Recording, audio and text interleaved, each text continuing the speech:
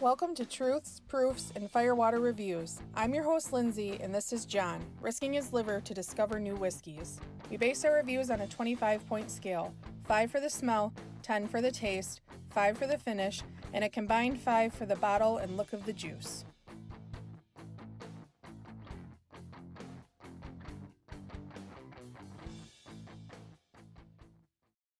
So today we will be making some eggnog.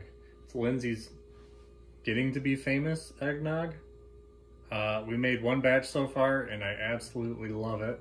Based off an Alton Brown recipe, it uses just the yolks so you can save the egg whites for a later use.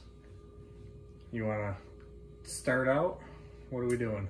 Okay, so I already separated my eggs and the yolk and the white. So I just these are just the yolks. There's 12 of them.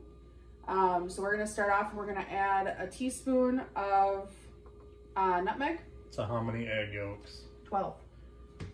And then we're gonna do two cups of just granulate sugar. Granulate? Granulated?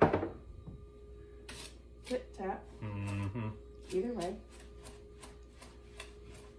So then you're just gonna whisk this, which obviously right now it's not gonna whisk very well.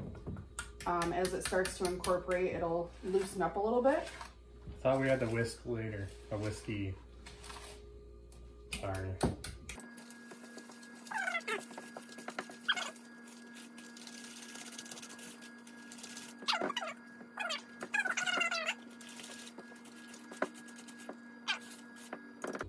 So you want it like a steady ribbon, steady stream.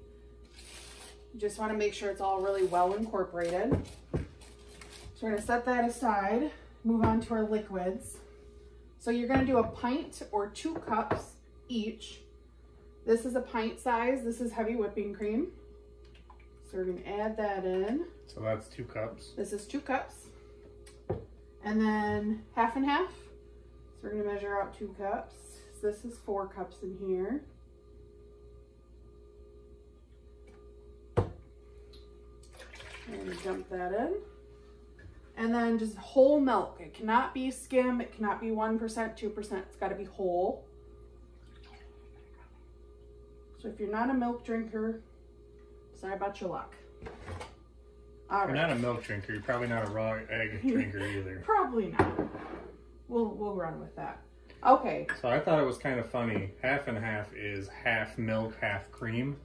This is based off an Alton Brown recipe, so it has to have some significance. We're not going to question it. We're just going to do it. To Yeah, to use them separately. Yeah. All right. So then you pick um, your rum. So his recipe calls for a cup of rum, a cup of bourbon, and a cup of cognac. We just stuck to a cup and a half of bourbon and a cup and a half of rum. Um, I actually talked to Steve Akley because Steve Akley um, makes a lot of eggnog. and he knows a lot of good people in the industry. And he said the higher proof, the better. Um, it just has a lot better flavor to it. So we're gonna use Booker's. This is their 2020 batch, um, batch one, Granny's batch. So we're gonna do a cup and a half of that. So I have a half cup, so I'm gonna do three of them.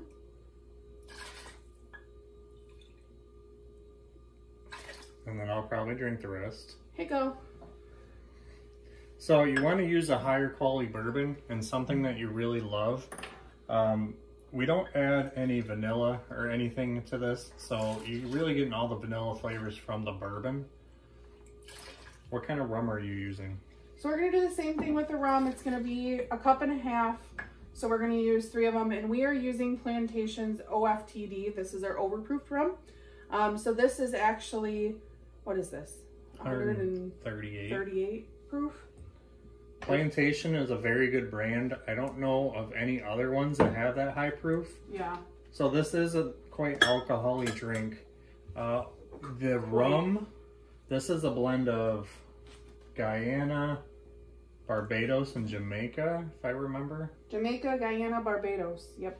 So this plantation is a cheaper rum. This was like 30 bucks or less. It's still high quality though. And that's a liter. And Jamaican rum has a certain funk to it that will really show through on this. If you like funk, there's some get some higher proof Jamaican, straight Jamaican.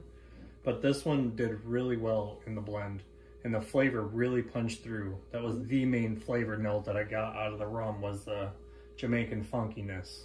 I'm just saying, when I put that Booker's in there, it was really good. Smells, smells, Booker, yeah. I mean, we're not adding any flavor other than seasoning, so the the better the bourbon, the better the nog is going to taste. Um, so we it calls for a quarter teaspoon of ground salt, kosher salt, so they don't want you using iodized Yeah. salt. So we just have a sea salt grinder, and honestly, I just kind of, if you don't cook, please don't do this. Measure it out. So quarter teaspoon for that whole thing. Quarter teaspoon. Just, I don't know what it does. Yeah, it must, must- do something. It's um, just so- not much. We're gonna bring our egg mixture back in here. I'm gonna clean that off a little bit. We're gonna give this guy a little whiskey whiskey. You already put whiskey in it. Look, smarty pants. All right, now you're gonna incorporate these slowly into each other. So I just kind of take about half of it and I just kind of start blending with just the first half.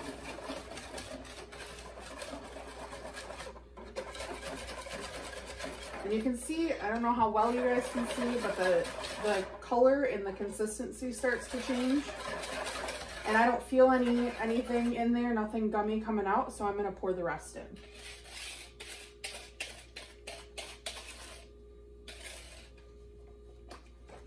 I'm gonna work that off a little bit and get the rest of this out. All right.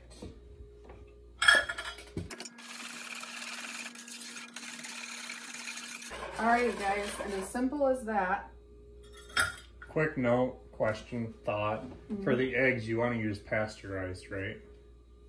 if you're worried, yes. Um, Alton specifically put in his recipe that it's a dozen eggs, just the yolk. You can use pas- pasteurized if you're worried. Um, I think in this case, the alcohol is going to kill off pretty much anything that's going to hurt you. So, I mean, if you're a germaphobe or you don't really like egg or you like eggnog, but not, you know, if, It kind of freaks if me you're out. wish washy about it, Um, if you would get sick from eggs, I think I'd be dead. I drink a lot of whiskey sours and a lot of eggnog. Um, pasteurized does reduce the chance by a lot. So, but there is a tiny chance. so I mean, But there's so much alcohol. I don't see I don't see an issue with it. You drink this much. This is also a good cure for COVID. I have not got it yet. I'll say it's because of this. Jon's dead set that he doesn't get COVID because of the fact I don't get sick at all because of whiskey. he drinks bourbon. But so here it is, guys. This is the final recipe. So Alton Brown um, put in his notes that he recommends that you age it. Um, this needs to go into sealed containers into the fridge for at least 14 days if you can keep it around that long. Jon barely can, but he said the longer that you age it, obviously the better it's going to taste. So he's never kept it more than three months just because he can't keep it around that long. It's super easy to make if you want it. it uh, you guys can see it makes quite a bit. So, I mean, we're going to fill up these ball jars and Jon will hopefully save me some for Christmas. If not, I'll be back at it again. Couple quick thoughts. Um, the aging it didn't seem to make a difference. We did that last batch like three months ago or three weeks ago. Um, the taste didn't really change at all for me. So I don't really, ca- I think you can drink it right away. I don't think you should go longer than a month. yeah, personally, I don't think I would, but I mean, Alton said he kept it Yeah. for three months and he was okay. If He you don't said know maybe he upwards of a year if you really wanted to. I don't, I, I just, I don't know. I mean, he's the expert. We'll Yeah. run off what he says. Um, so Jon's gonna post this recipe either in the comments or he'll, you know, put it somewhere around so you guys can jot it down. Otherwise, you guys can message us. We can send it to you either way if you're interested in trying, you know, trying it out for yourselves and seeing what you think. Send maybe you the recipe, around. not, Yeah, we're not sending you eggnog. not sorry. through the mail. No perishables. we're not overnighting eggnog anytime soon. All right, if you want to start pouring it, I'll just fast forward.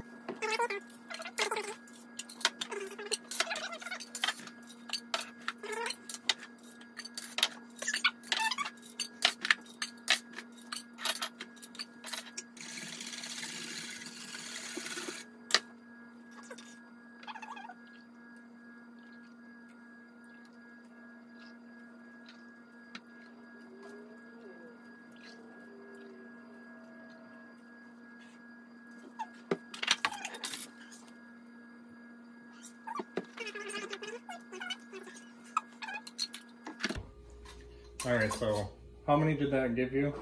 So these are half pint jars and we got 13 of them.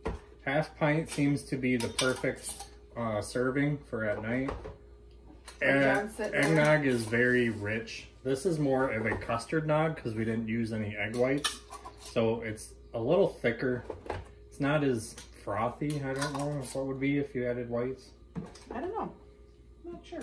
Um, I would highly suggest using ball jars. They hold up better than Kerr. Um, the other brands, Indian, some whatever. There's a few others, but ball always hold up.